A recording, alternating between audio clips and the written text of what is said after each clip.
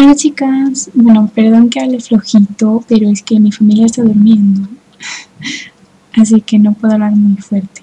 Bueno, hoy os traigo la penúltima página ya del proyecto que tenemos con Laura, que se llama La felicidad existe. Esta página es sobre nuestras aficiones o nuestra afición.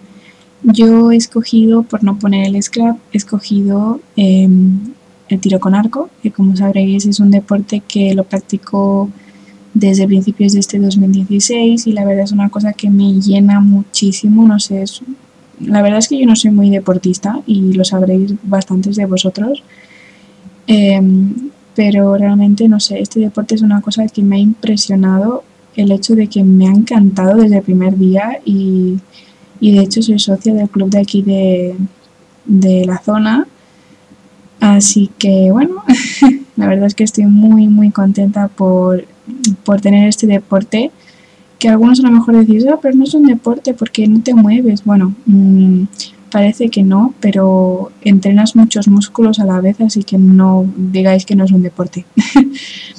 y bueno, como habréis visto, lo que estoy haciendo es ponerle un título que ponga mi afición eh, lo estoy poniendo con estas letritas rojas que son un poco grandes y como no tenía una A para poner afición he puesto una V y le pongo un puntito en medio para que parezca una A.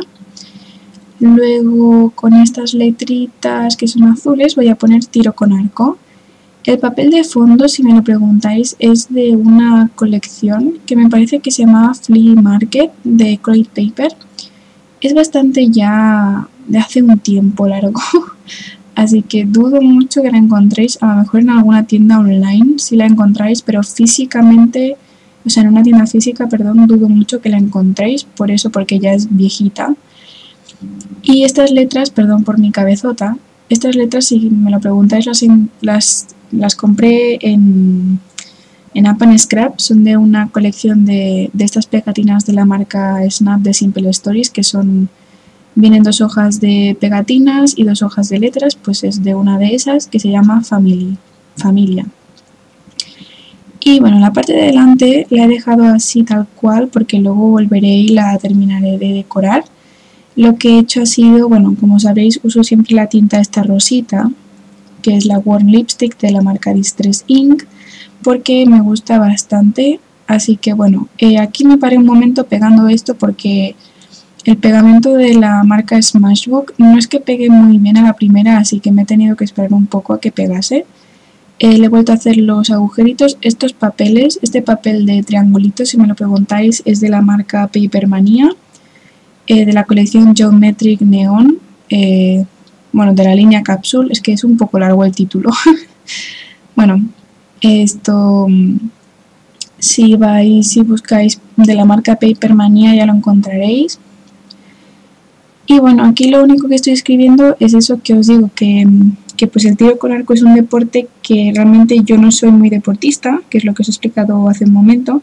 Yo no soy muy deportista, pero el deporte del tiro con arco me ha sorprendido el hecho de que me guste tanto y me llene tanto. Entonces mm, voy prácticamente cuatro días a entrenar durante, bueno, miércoles y viernes voy solo por la tarde, pero los sábados y los domingos voy todo el día, mañana y tarde, si puedo. Así que imaginad si me gusta, más que nada es también el ambiente que hay con, los con los socios del club y los jefes y los entrenadores, es todo muy, muy, muy, muy amigable.